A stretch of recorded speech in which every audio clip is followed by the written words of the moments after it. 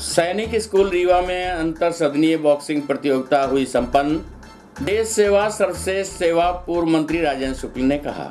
आपको बता दें कि बिंद क्षेत्र की शान व राज्य के एकमात्र सैनिक स्कूल रीवा में अंतर सदनीय बॉक्सिंग प्रतियोगिता आज पूर्व मंत्री एवं रीवा विधायक श्री राजेंद्र शुक्ल के मुख्य आतिथ्य में संपन्न हुई। कार्यक्रम में सर्वप्रथम कैडेट्स ने पुष्प गुच्छ देकर मुख्य अतिथि श्री राजेंद्र शुक्ल का स्वागत किया, तत्पश्चात मुख्य अतिथि द्वारा विद्यालय में नवनिर्मित यूटिलिटी कॉम्प्लेक्स का उद्घाटन किया। इसके बाद अंतर सदनी बॉक्सिंग प्रतियोगिता निर्णायक मुकाबला प्रारंभ हुआ, जिसमें कैडेट्स ने अत्यंत जोश व उत्साह के साथ भाग लिया। सभी मुकाबले अत्यंत रोमांचक रहे। इसी क्रम में स्कूल की गर्ल्स कैंडिडेट मार्शल आर्ट की भी प्रस्तुत दी गई, जो कि अत्यंत रोमांचकारी व जोश भरी थी। प्रतियोगिता में विजेता बेतवा सदन तथा उप विजेता चंबल सदन रहा।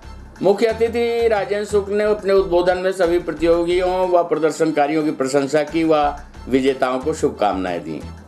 इसके साथ ही उन्होंने सैनिक स्कूल द्वारा प्राप्त उपलब्धियों की सराहना की एवं भविष्य में आवश्यक सहयोग देने का आश्वासन दिया है।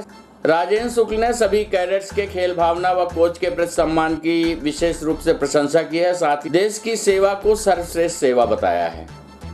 विदित हो कि सैनिक स्कूल रीवा में बॉक्सिंग प्रतियोगिता का आयोजन तीन दशकों के बाद किया गया, जिसका एकमात्र उद्देश्य कैडेट्स के अंदर शारीरिक व मानसिक दृढ़ता का विकास करना है। अंतर सदनी बॉक्सिंग प्रतियोगिता आरंभ करने से पहले सभी कैडेट्स को आर्मी के प्रशिक्षित कोच, हवलदार ईश्वर खड़का के द्वारा तीन माह का विशेष प्रशिक्षण दिया गया था। इसके साथ ही विद्यालय की गर्ल्स कैडेट्स को भी आत्मरक्षा व शारीरिक तथा मानसिक रूप से मज़बूत बनाने के लिए मार्शल आर्ट्स की भी ट्रेनिंग राज्य स्तरीय प्रशिक्षक व अंतर्राष्ट्रीय खिलाड़ी श्री तोष राम कनौजे द्वारा की जा रही थी।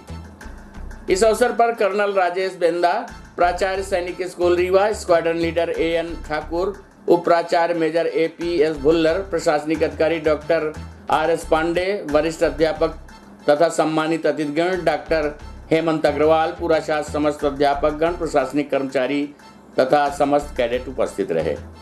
प्रस्तुत है पूर्व मंत्री राजेंद्र शुक्ल से प्राप्त जानकारी के अंश। को बधाई देता हूँ क्योंकि आर्मी में बॉक्सिंग का अपने आप में एक बहुत बड़ा महत्व है। जो बच्चे स्कूल से फिर एनडीए में जाते हैं डिफेंस एकेडमी में तो वहाँ पर तो उन्हें बॉक्सिंग के लिए आ, का कोर्स करने पड़ता है।